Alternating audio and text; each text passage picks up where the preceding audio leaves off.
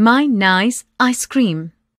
One day, Pia went for a walk with her mother and baby brother. Pia saw an ice cream cart. Please buy me an ice cream, Mom. I will eat my nice ice cream now. Pia's brother wanted the ice cream too. No, the ice cream is mine. Her baby brother started crying. Don't cry.